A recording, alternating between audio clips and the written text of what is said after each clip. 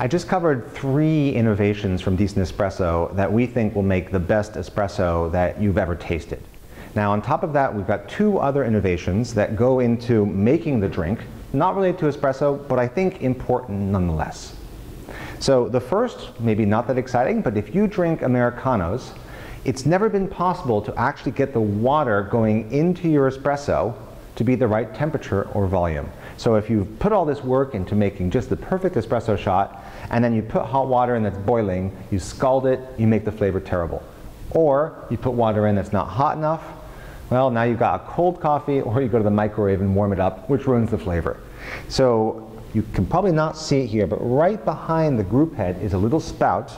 And if I hit hot water here and start, you will see that water comes out from there into your cup.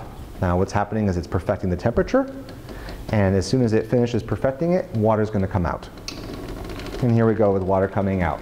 Now we put it there so that it literally just fills the cup that you just made espresso in.